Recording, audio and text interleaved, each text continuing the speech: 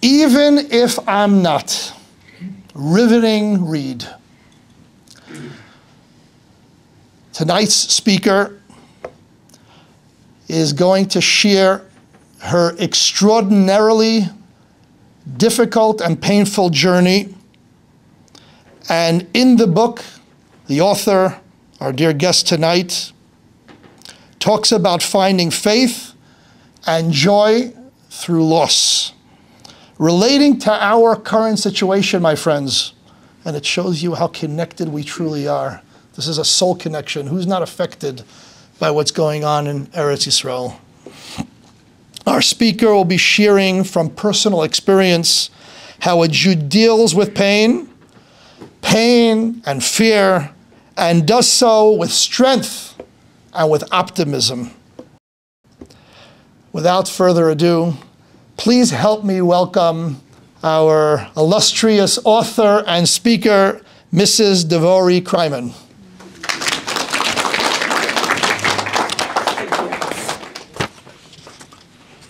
When I was a kid, about 10 or 11, um, we were a family that didn't have a lot of money, a lot of kids, not a lot of money. So we didn't do trips very often. And I remember that we had a big trip. We had looked forward to it for months. We went to Six Flags amusement park. And the first attraction that I went to was called the Fun House. Hated it. It was dark inside. The floor was kind of, you know, like unsteady, like shaky, and there was these narrow passageways. And every time we walked a little bit, it was hard to know where we were going. It was very, very dark. These apparitions would kind of like just appear in front of us. I really was kind of miserable. And when I came out, I was complaining and I was saying it shouldn't be called the fun house, it should be called the unfun house, and I, which my siblings teased me about for a long time, so that was something that stayed. And I couldn't understand why do people pay money and enjoy this? Then I got a little older and I understood. There's a thrill to being in a place and being frightened, let's say, or you know those rides that go dashing down at 200 miles per hour and you feel like you're going to hit the ground, but you can enjoy the experience because you know, you know that even though it feels like you're about to hit the ground, or even as I was going through the unfun house and it was dark and I couldn't see the way out, I knew that somebody designed this and there is a plan and I'm going to come out okay. So you get the experience of the fear, but you know there's a, there's a planner. I'm to be all right.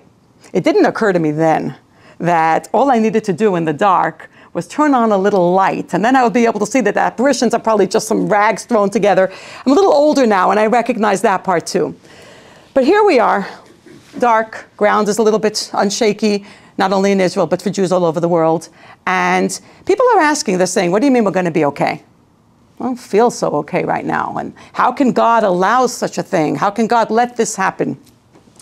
There was a, a Jew, an Israeli Jew, who was non-observant, and he happened to be Yom Kippur. He happened to be spending it in Crown Heights. And the I, I, understand that the group has probably been. Some of you have been there. Um, happened to be in the headquarters of Chabad in New York with a relative, and a relative said, "Come on, come to shul with us." Came to shul, and he's looking for the machzor, and he reads the story of the ten martyrs, and it's horrific. It's not just that 10 great sages were killed by the Romans, but it's actually barbaric. It describes in detail the terrible way that they were tortured.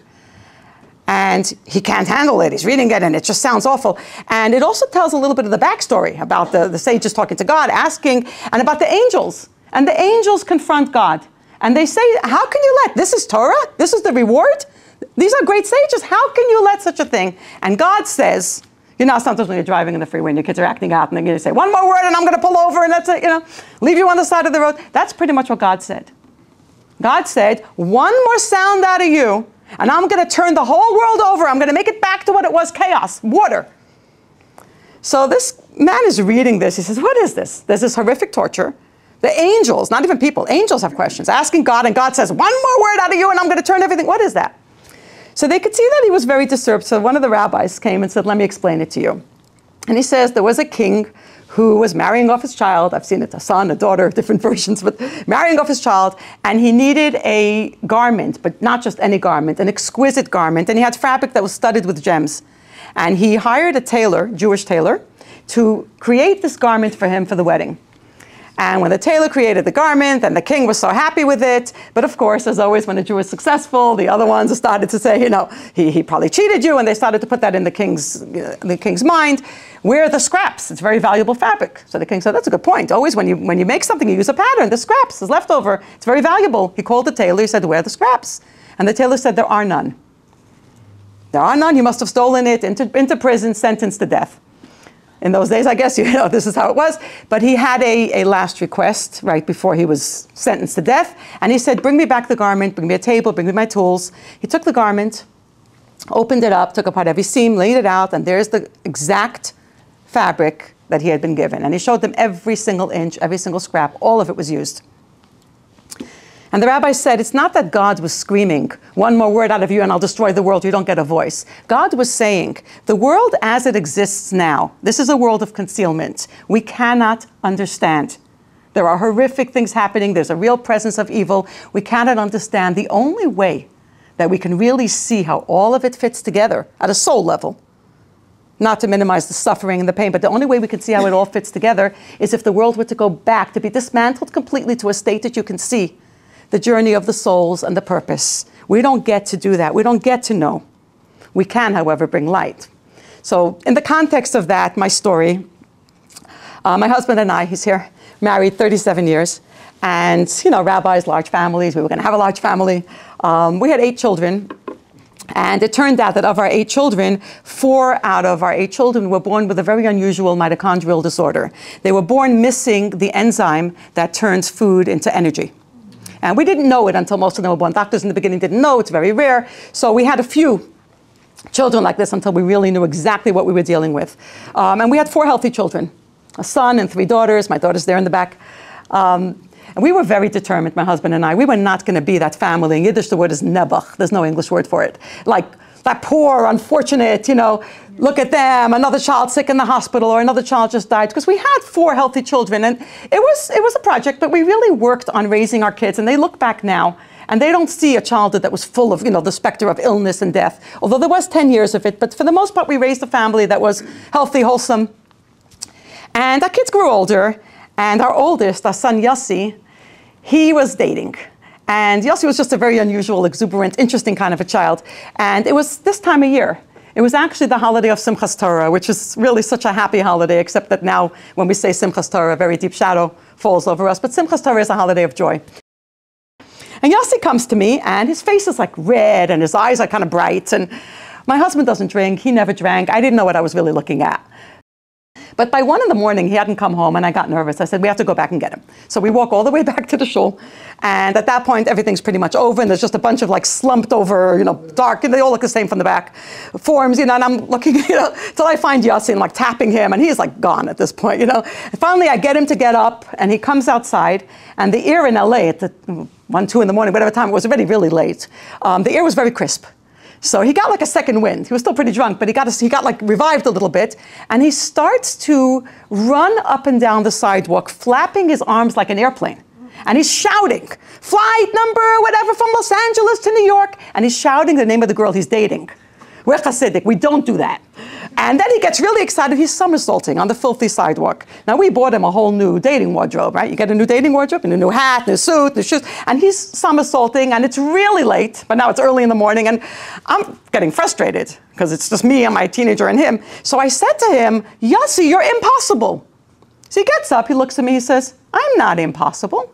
I'm possible. I'm possible. And I guess he liked the sound of that. So the whole way home, he's dancing backwards in front of me. I'm possible. I'm possible. Sometime after that, it was a Friday afternoon.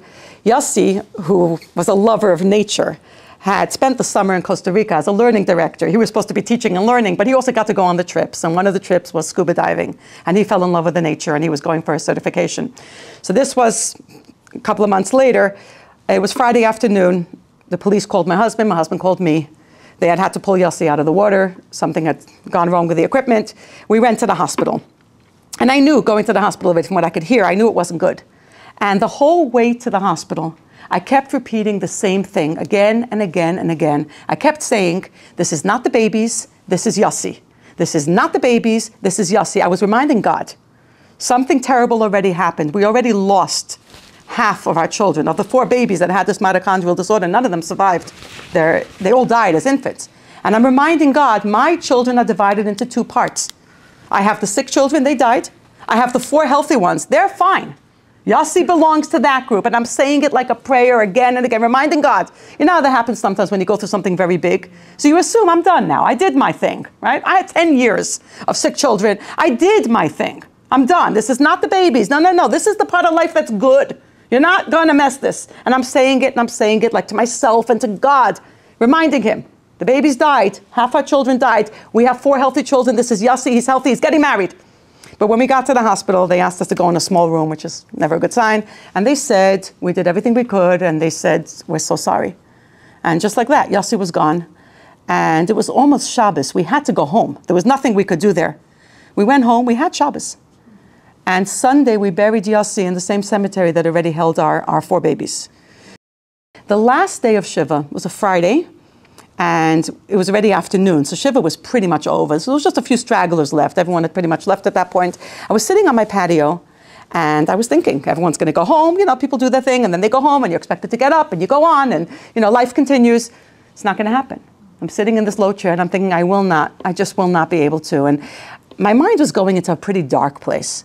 And actually, it even scared me. And I knew sometimes you just got to stop thinking. You just got to stop thinking. I didn't know how. So I turned to the woman next to me. Her name is Judy Weingard. She's a professional singer. And I said to her, I don't even know why, it popped in my head. I said, Judy, sing something. She looked at me like I'm insane. We don't sing during Shiva. But I said, I need to stop thinking. I need to hear a song. So she got all flustered. What should I sing? What should I sing? So she turned to the woman next to her, as a former student of mine. What should I sing? How many songs are there in the world? Millions, trillions, billions? I don't know. Of all the songs in the world, here is the song that my former student suggested and that Judy sang to me in the last moments of, of Shiva. It's possible. It's possible. Everything is possible. Just keep your mind upon your goal. Turn to God with all your soul. It's possible. It's possible. And I saw Yossi dancing in the night. It's possible. I'm possible, he said. And with those words, we did, we did get up from those low chairs of Shiva. Truth Sometimes it's not possible. Sometimes it's really too hard. But Yossi didn't say it's possible. Yossi said, I'm possible. And here's what stayed with me from that. All of us, we are really, if you think about it, life, a human being, Jew, it's really an impossible fusion. What are we? We are soul in a body. It's, it's matter and spirit together. It's an impossible fusion. But really, what we have in us, all of us, I'm possible. We're all possible if we can just tap in to the part within us. It's a breath of God, it's soul, it's a touch of infinity. If we can tap into that, and what does it mean? That's a very abstract idea, but very, very simply. When we look at this world only as a physical entity or as an existence in and of itself, it's pretty depressing and kind of scary. But when we can tap in to what's possible in us, which is a part of soul, we become aware of bigger, of our soul journey, our souls are part of God, a bigger plan, something greater than we can understand. We can draw infinite measures of strength. Look at us.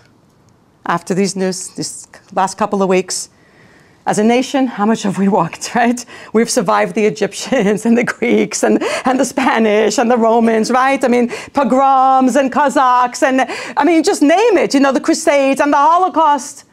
You know, I mean, just going through all the things, and even the more recent history, the bombings and the stabbings and then the missiles. We walk. We gather together. We hold on. We walk. Because what we do, we don't get stuck on why did it happen as Jews, as soon as something happens, something even so, so, so terrible that everybody's walking right now, you know, the ground is shaky, we ask right away, what do I need to do? How will I get through this? That sometimes, I can only speak for me, so I will speak for me, my reaction when faced with something that I knew was life altering was no. No, no, no. I don't want this. I don't want to be in this. I don't want to be doing this. No. One of my babies, when she was in the hospital, I went to be with her. She was the sickest child in that hospital. She was dying. And I went to be with her. And before I went upstairs to her room, I went to the lobby to go to the bathroom. And in the bathroom, there was a sign. You have them in many bathrooms. And it said, baby changing station. I looked at that and I thought, ah ha ha ha, baby changing station. That's what I want. And I had a crying fit by the baby changing station. And I'm actually crying out to God and I'm saying, I want to change my baby. I want to change my baby for a baby that works. And I'm doing this whole thing at the baby changing station. Right after my whole, I want to change the baby thing, I'm holding my baby and I'm thinking, and again, it's going to sound absurd, but here it is. We don't get to change the baby. Imagine your kid acts out in school and you tell the teacher, you know, I don't want that kid, he's too much trouble, give me a different kid. Like we understand that this is our journey, this is our family.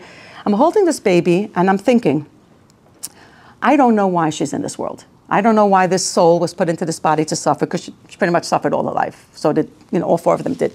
And I don't know, I don't know that.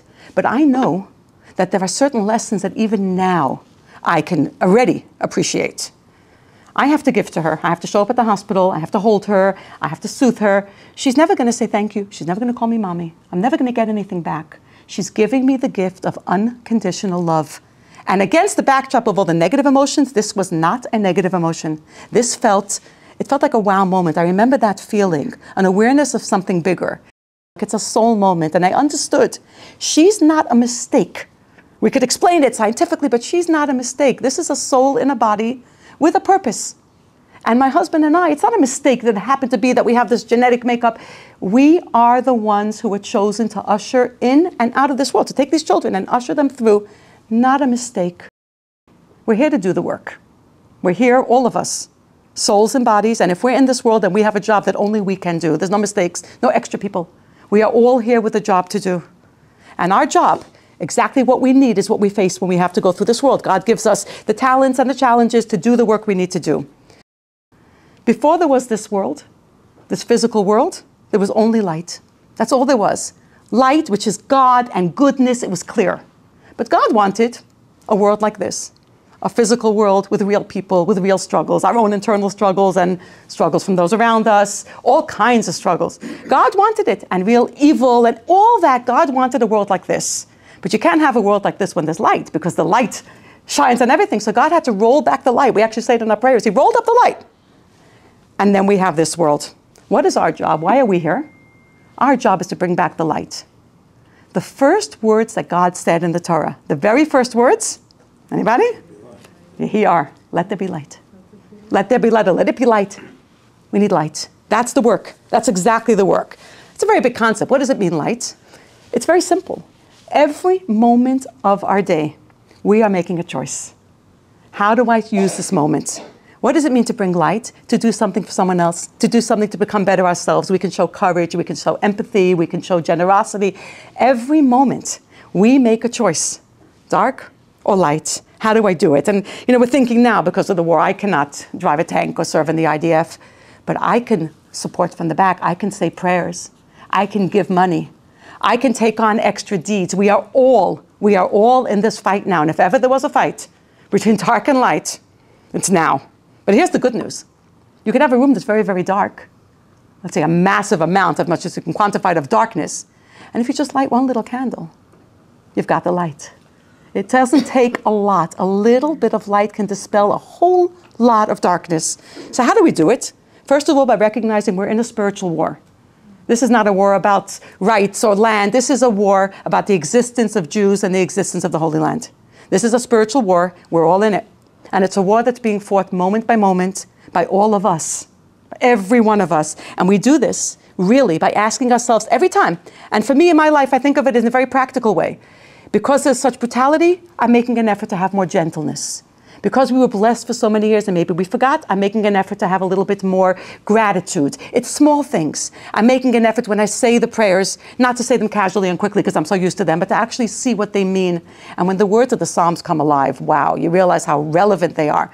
To pay more attention, more mindfulness, to counteract brutality and harshness and cheapness of life with awareness of the preciousness of life, with gentleness with each other, with reaching out one to the other so that we can be united and then nobody can break us. On a very basic level, you want joy? Find something to be grateful for and acknowledge it. Even deeper, to someone else. The absolute greatest joy that a person can feel, it's not pleasures, it's the feeling that we accomplished something, that we came into this world, we were given a lot of gifts, some challenges, and we used our time in this world and our gifts in this world to become better people, to spread some light, to care for others, to do some good. It's the greatest, deepest feeling. It's the joy of the soul. That everything in this world is God. There is only God. I still believe in God. I still believe in God. used to believe in soul. We are souls before we come down to this world. We are souls after we leave this world. In this world, we are doing the work of a soul in a body. Do I still believe in soul? Still believe in souls. So what used to work still works. So maybe bruised and battered, but we can get up. We can keep going. And I'm going to end with this. People say to me sometimes, because I speak, they say, oh, you, you were born religious. It's easier for you. You, you're spiritual. You, you're happy. Somebody think if you're wearing lipstick, you're happy. You, you're strong. Me, I'm not that. And people, I get that a lot. I'm not that. Like, you know, you, you, it's easy for you. You pray, you do, you're, you're, you're, you're that. I'm not that. But it's not really how it works. After Yossi died, I started the night before the funeral, but I had done it by the babies too. I started to journal. I started to write and write and write. But if you would have asked me what did I do the whole first year after Yossi died, I would have said nothing. Cried and I cried, but I wrote. And I thought I'm just journaling because I had a lot to say. God was looking down and saying, honey, you're writing a book. But here's what I learned. I really captured a lot of, I call the process inelegant.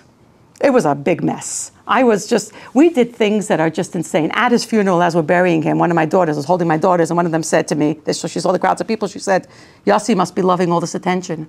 And we laughed as we buried him. Because sometimes you're so crazed with grief, and it's not something I ever wanted to admit, but I wrote it and I published it. I would, would, binge eat during the night when I couldn't sleep. And I once did a crazy, had an argument with my husband. And I did a, a driving that was like just insanely crazy. And then people were talking to me during the Shiva, and I was jealously counting how many children they had. Not proud of the journey. But I also recorded, I wrote down my own struggle. And this is where we can all identify when we're going through something difficult and we get thrown off, we start asking ourselves, who am I? And I really was looking and I was asking myself on a lot of levels who am I as far as other people? How can I relate to someone else who didn't lose most of their children when I have lost most of my children? How will I ever have a conversation with someone who doesn't know what that feels like? And who am I as a mom? Am I still Yossi's mom? I didn't know then the, the answer is an absolute yes, a resounding yes, but I didn't know how. And who am I with a God who I feel has abandoned me? How do we do that? And I wrote the honest struggle, and here's what I've learned. There is no such thing as being strong, happy, spiritual, at least not for me. And many of the people I meet all the time are in that state. What there is is a moment by moment choice. Even these days, if I wake up and I'm feeling sorry for myself, it'll be something will trigger me or whatever it is, and I'll feel sorry. I can say, even though I'm feeling sorry for myself, I can still take a moment to have empathy for another person. I can put myself out of the way for one moment and think about another person. I'm feeling like I don't have enough, I can give a little bit to someone else. I'm not feeling so spiritual, I can say a little bit of a prayer. I can listen to five minutes of a class. I can do a little bit. do a little bit. That's really the only way. And I'm going to close with this. A few years ago, I had an appointment in a, in a building, an office building, and ended in the evening. And when I came out, I took the elevator. And the elevator, when I got out of the elevator, the elevator area was lit. But the whole parking structure was an underground parking structure was black. And my car was somewhere in there. It was night. I was alone. And I was scared. There was no lights at all except for by the elevator. And I think, I don't want to go into that black alone. But I had no choice. My car is there. So I took a step, and as soon as I took a step, light went on above my head. And I realized we've got motion. And this is really how it works. We stand there, we look out, we say, I can't do this. I can't do this. This is scary. This is sad. We shouldn't look too much, but if we're looking at some of the stuff that's going on, it just tears our hearts. How are we going to be okay? How is this okay? How are we going to manage? It's black, it's evil, it's frightening. But we have to bring light. We have to bring light. That is the response of a Jew. What do you mean bring light? How do you bring light? One little deed. We smile at someone who we may have had a little argument with. We give a few pennies or $1,000, thank you. You do a little thing. You show up for a class. You say a prayer. You take a step, light goes on. You take a step, light goes on. And before you know it, the whole world, light. Thank you.